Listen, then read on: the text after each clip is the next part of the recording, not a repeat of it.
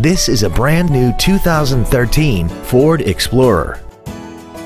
This SUV has an automatic transmission and an inline four-cylinder engine.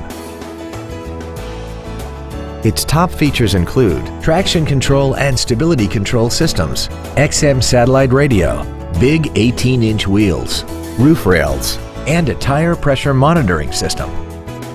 The following features are also included air conditioning, cruise control, full power accessories, a six speaker audio system, leather and alloy steering wheel trim, a security system, front fog lights, dusk sensing headlights, front and rear reading lights, and a rear spoiler.